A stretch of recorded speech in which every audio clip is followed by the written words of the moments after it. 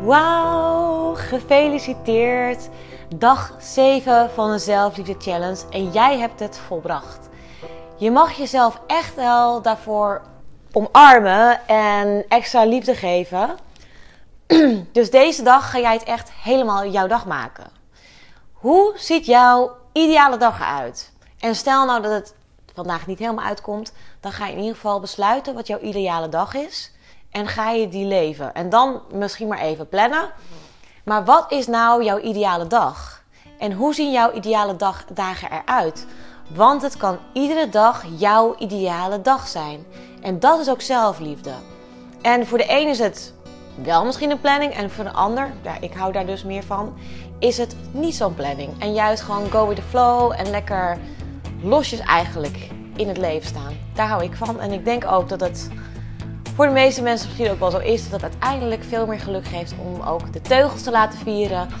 Uh, te leven in overgave, gelukkig te zijn met jezelf en weten dat je een invloed hebt op jouw dag. En invloed hebt om gelukkig te zijn. Want het is eigenlijk een keuze. Je kunt iedere dag kiezen voor het positieve en het negatieve. Niet dat het negatieve er niet mag zijn, want dat vind ik dan wel eens in spirituele. Dan is het net alsof dat allemaal niet aanwezig mag zijn. Het is er gewoon en soms word je gewoon overweldigd door emoties en die mag je gewoon voelen. En dat is ook het mooie in acceptatie, dat hebben we ook gedaan. Hè? Um, om alles te accepteren zoals het komt en dat alles er mag zijn. Want uiteindelijk wil alles naar het licht gebracht worden. En dat is ook in het essentieproces. Alles mag er zijn. Wees lief en zacht voor jouzelf. Dat verdien je. En het is ook leuk om ja, wat spontaniteit in je leven te implementeren. Wat meer te durven. En ook echt jezelf te durven zijn. Geef je grenzen aan, daar hebben we het over gehad. Uh, maar ook zeg ja tegen de dingen die je graag wilt. We hebben het gehad over wat maakt jou nu echt gelukkig. Uh, we hebben meditatie gedaan. En misschien vind jij trouwens meditatie in stilte wel fijner. Dat kan ook. Misschien mediteer je al op een andere manier. En dat is ook liefde geven aan jezelf. Om die innerlijke wereld te verkennen en tijd te nemen voor jezelf. Wanneer je misschien begint met mediteren, is het nog even lastiger. Maar gun jezelf allemaal de tijd, want geduld is ook weer liefde. Laat alles gewoon bestaan en laat het leven op je afkomen. Ik wil deze week graag afsluiten met het schrijven van een brief aan jezelf. En niet zomaar een brief, maar het schrijven van een liefdesbrief aan jezelf. Dus misschien heb je ook wel echt een apart dagboekje of een notitieboekje hiervoor gebruikt, of heb je die al.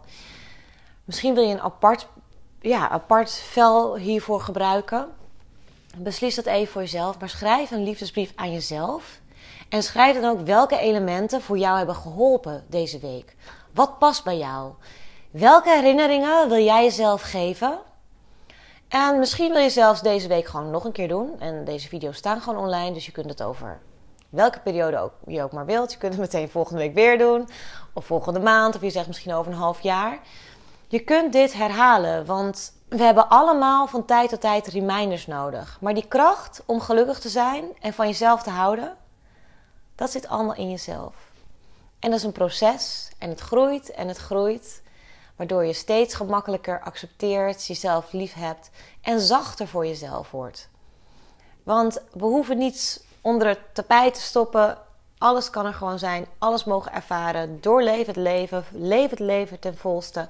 Maak het een avontuur. Want hoe meer je dus je hart volgt, je het leven een avontuur maakt, hoe meer bijzondere dingen er gebeuren en bijzondere mensen op je pad komen. Dus ga ook door jouw angsten heen en weet dat er altijd voor jou wordt gezorgd. Je mag vertrouwen op het leven. Nou, dit soort dingen kun je ook in je brief gaan schrijven naar jezelf. Maar jij weet wat jij deze week hebt ervaren.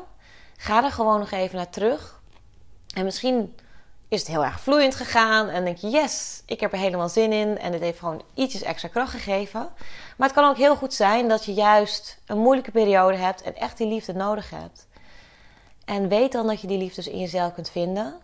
Maar natuurlijk kun je het ook uit je omgeving halen. Maar wees niet een energiezuiger of ga niet in de slachtofferrol zitten. Wees gewoon een volwassen persoon en sta in jouw kracht en neem je verantwoordelijkheid.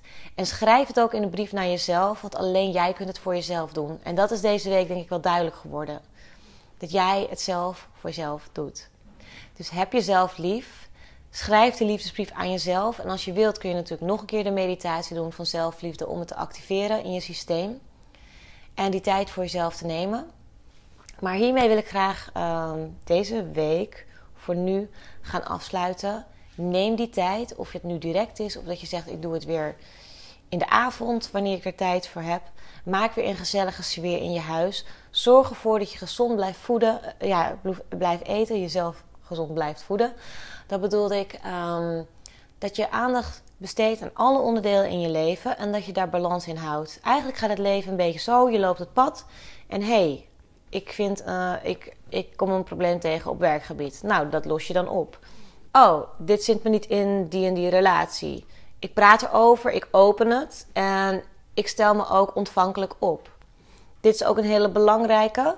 Stel jezelf echt ontvankelijk op, want het leven heeft zoveel cadeaus aan jou te geven. Ontvang het, wees dankbaar en zie het mooiste in alles wat er is. Want dat helpt jou op jouw pad. Het leven is niet altijd makkelijk, maar Wanneer je deze liefde in jezelf activeert en groter maakt, wordt het een stuk leuker en gemakkelijker. En dat is ook wat ik jou gun. Dus ga de tijd nemen om de brief aan jezelf te schrijven. En ik zou het heel erg leuk vinden, en daar zou je, zou je mij heel erg uh, veel liefde mee geven, als jij nog een reactie achterlaat op deze pagina van jouw ervaring. Of even een bedankje. Daar word ik dan weer heel erg blij van.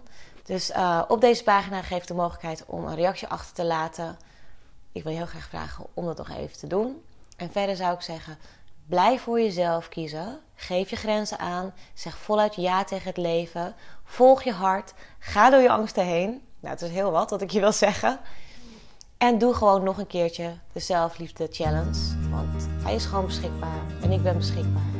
En wie weet ontmoet elkaar wel heel snel.